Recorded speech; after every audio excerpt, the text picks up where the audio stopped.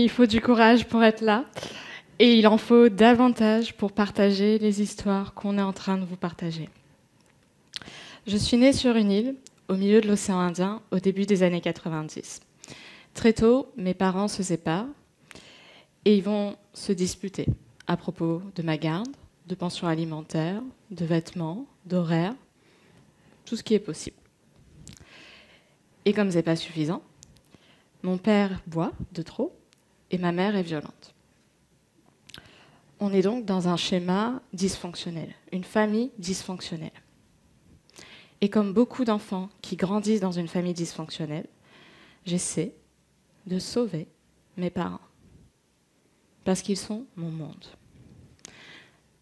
Mes parents sont en prise avec leurs propres démons, avec leur propre histoire, avec leur propre schéma répétitif.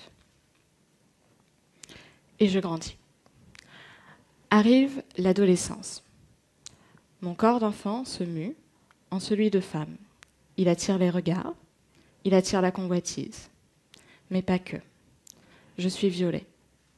Pendant longtemps, je garde le silence, parce que je ne me sens ni en sécurité, ni en confiance pour en parler. Et pour masquer ces formes, j'arrête de m'alimenter, j'arrête de nourrir, de me nourrir. Pour masquer ces formes, j'arrête donc de me nourrir, mais je cherche aussi à mourir.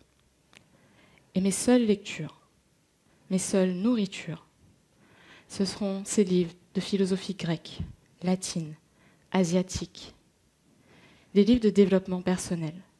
À travers eux, je cherche la paix, je mets en place tout ce que je peux mettre en place, et pourtant je ne trouve pas cette paix. Et je continue. Certains schémas répétitifs, d'autres que j'arrive à mettre fin. À 25 ans, le médecin m'appelle. Il souhaite me voir en urgence.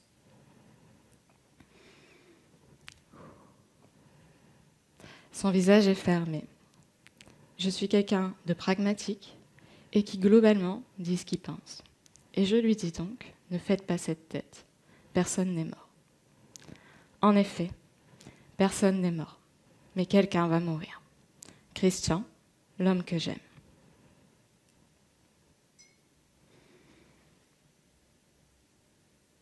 Diagnostic. Cancer du cerveau, phase finale. Comme dans les films, on demande alors, combien de temps Les médecins ne nous répondent pas. Dans la vraie vie, les médecins ne répondent pas à cette question. Internet, si. Et Internet nous dit 6 à 12 mois. La mort entre donc concrètement dans ma vie lors de ce diagnostic. Et pendant plus de 12 mois, pendant 24 mois exactement, je vais être accompagnée de la mort. Et ensemble, nous allons discuter. Et ma première demande à la mort, c'est qu'elle me prenne moi plutôt que lui. La mort ne choisira pas que je meure pardon, physiquement. Par contre, je vais mourir. 25 années de schémas répétitifs vont se mettre à tomber les uns après les autres. Si je vous partage cela ce soir, ce n'est pas pour que vous me plaigniez, c'est bien au-delà, c'est pour vous fournir trois outils. Cependant, avant de passer à ces trois outils, l'autre raison pour laquelle je vous partage ces éléments et que d'autres ont partagé leur histoire, c'est que en faisant cela, on vous montre qu'il est possible de mettre des mots sur des mots. Et que oui, ça demande du courage. Ce courage, je l'ai. Ce courage est long. Ce courage, vous l'avez aussi. De dire ce qui paraît indicible au départ. La renaissance, dans mon cas, ne s'est pas faite en une nuit. J'aurais certainement aimé une marraine qui viendrait avec sa baguette magique et transformerait ma vie. Ça n'a pas été le cas. Ma renaissance, ça a été des petites victoires. Ça a été des moments de clarté, de lucidité. Et ça a été des leçons apprises dans la douleur elle-même. Parmi ces trois outils, le premier est le triangle de Karpman. Le triangle de Karpman, on y joue tous. On l'appelle aussi le triangle dramatique. Et dans toutes les histoires qu'on se raconte et qu'on nous raconte depuis l'enfance, et dans tant de telenovelas qu'on aime à La Réunion, il s'agit de triangle dramatique. Pour un triangle dramatique, trois personnages bourreau, sauveur, victime.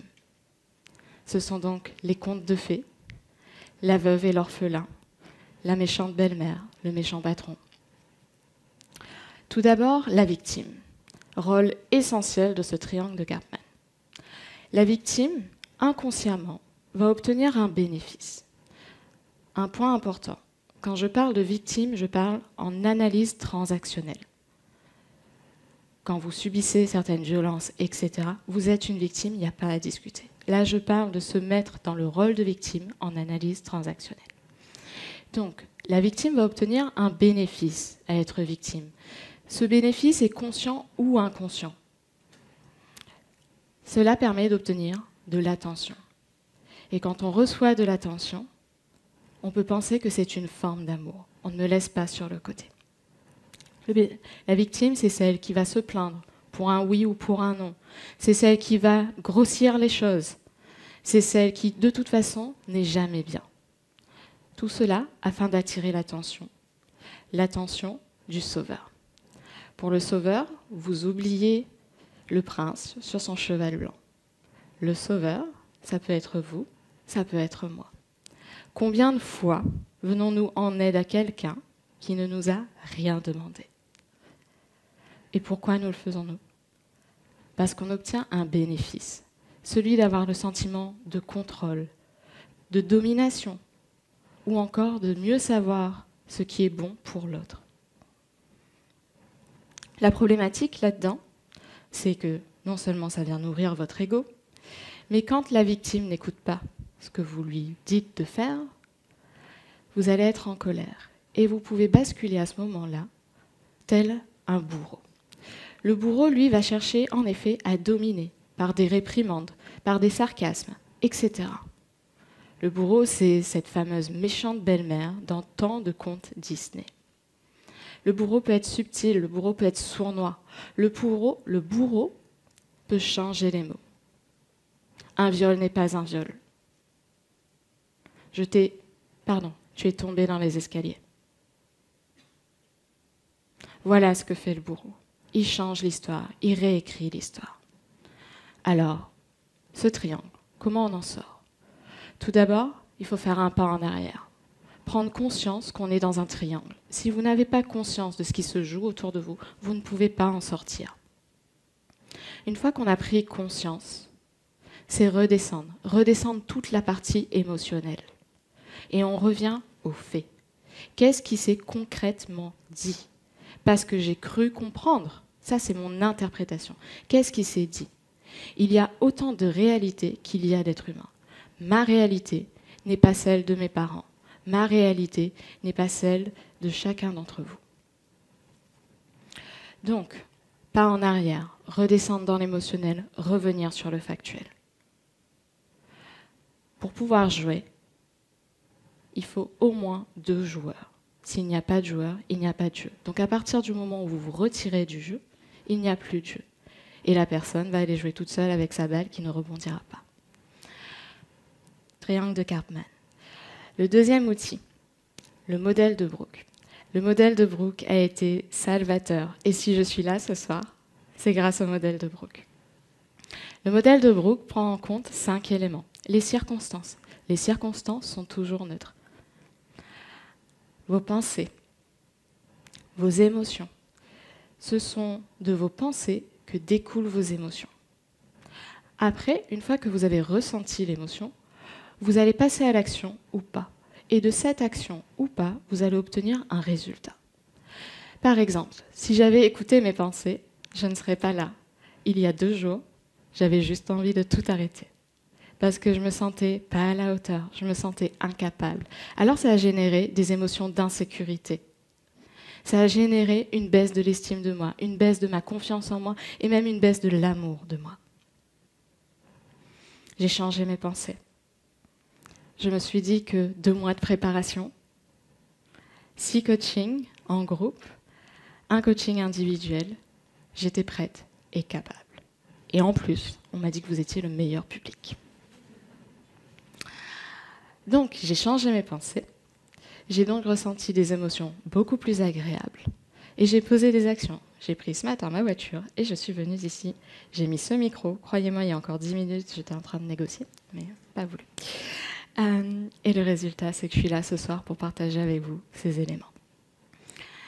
Ensuite, le troisième outil, c'est Oponopono.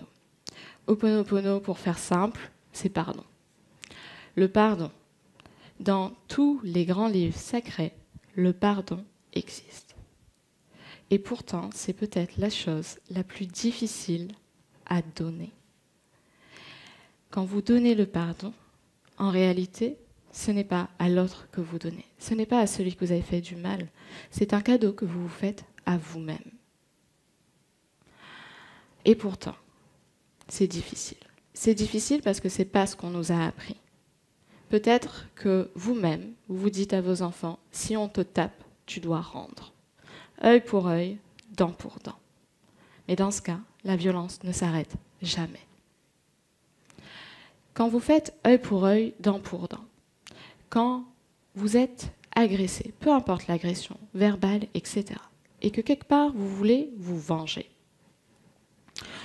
Pour se venger, si on compare la vengeance à des braises, il faut que vous preniez ces braises dans vos mains et ensuite que vous lanciez ces braises sur quelqu'un.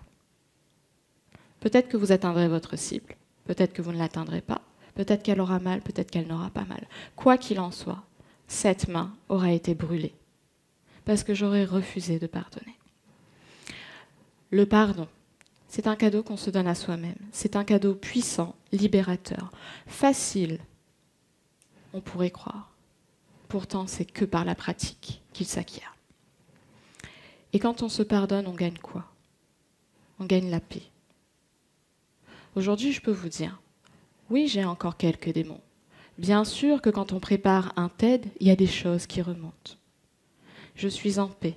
J'ai cherché pendant plus de 25 ans la paix. Le pardon, c'est ce qui m'a permis d'être en paix. Et ça m'a libérée. Libérée de toute la colère que j'avais accumulée pendant plus de 25 ans. Parce que j'ai trouvé que la vie était injuste. Parce que je pensais que j'étais une victime. Victime de mes parents, victime des gens qui m'entouraient, victime de la vie elle-même. Je ne suis pas une victime. Quand on a préparé ce talk, je l'ai dit, je ne veux pas paraître pour une victime, parce que je ne suis pas une victime. Et je ne suis pas une victime parce que j'ai le choix. Et vous tous, vous avez toujours le choix. Vous avez le choix de réécrire votre histoire. Vous avez le choix des actions que vous allez poser. Et donc vous avez en amont le choix de vos pensées. Les actions que vous posez aujourd'hui porteront leurs fruits peut-être demain, et tant mieux parce que vous serez content. Mais parfois, les actions que vous posez aujourd'hui portent leurs fruits dans 10 ou 15 ans. La patience. La foi aussi. Y croire. Croire en soi. Parce que c'est grâce à vous que c'est possible. Tout ça pour vous dire que non, ça n'a pas été un long parcours, facile.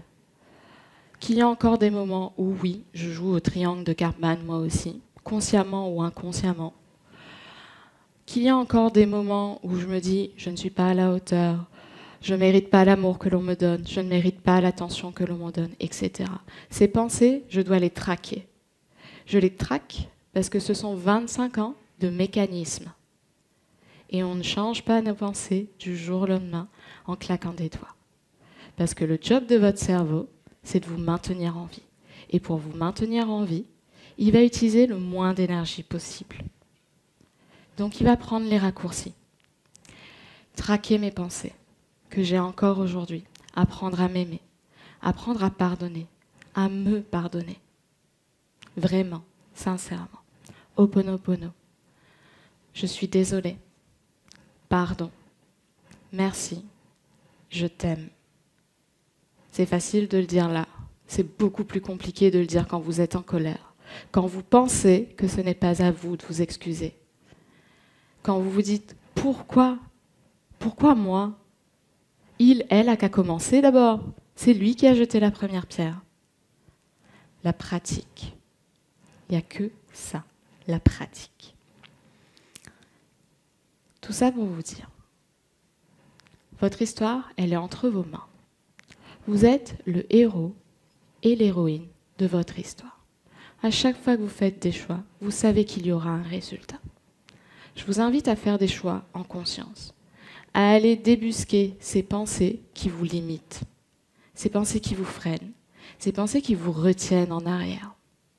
Parce que votre vie, elle est ici et maintenant.